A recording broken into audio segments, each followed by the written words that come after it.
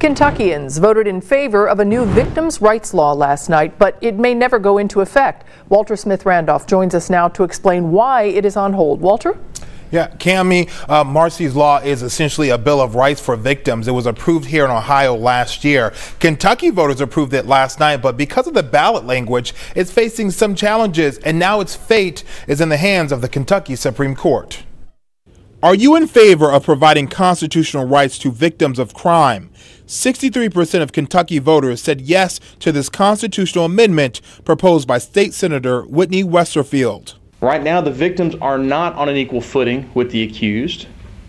I believe they should be. But because of a court challenge, Marsy's law may not become law.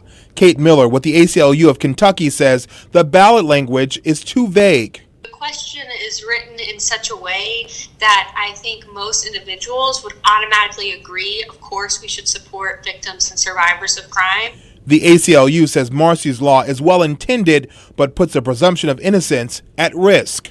The fundamental rights afforded to an individual who's been accused of a crime are some of the most important rights that we have as Americans, and they have to be upheld and um, rigorously defended. Marsy's law guarantees victims 10 rights, including victims having the right to restitution, the right to be present at trial, and the right to be heard at certain court proceedings.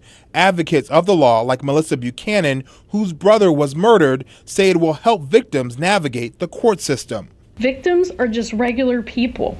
The justice system is made up of lawyers, law enforcement, and judges and full of complicated procedures and legal jargon. It's very intimidating. And I do think that Marsy's law is very well intended, but given the serious and complicated nature of the policies laid out within Marsy's law, um, certainly I think that the question should have been more detailed and provided more information for voters.